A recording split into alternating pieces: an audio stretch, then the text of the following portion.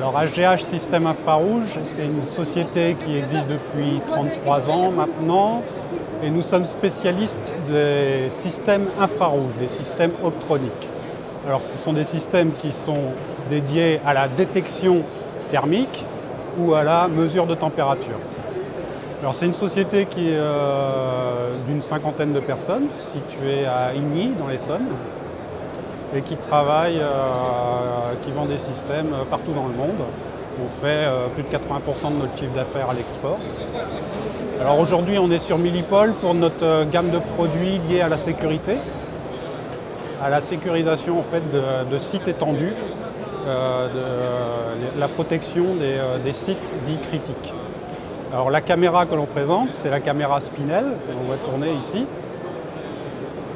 Donc en fait, la caméra Spinel, c'est une caméra infrarouge, une caméra thermique, qui tourne en permanence, comme on le voit. Elle fait une image par seconde de tout ce qui l'entoure, donc des 360 degrés autour de la caméra.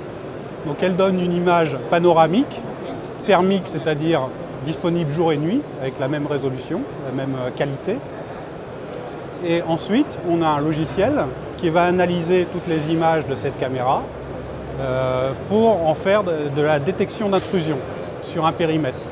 Donc HGH euh, cherche euh, à développer ce système qui rencontre beaucoup de succès actuellement. Donc on fait beaucoup d'efforts dans, l'innovation.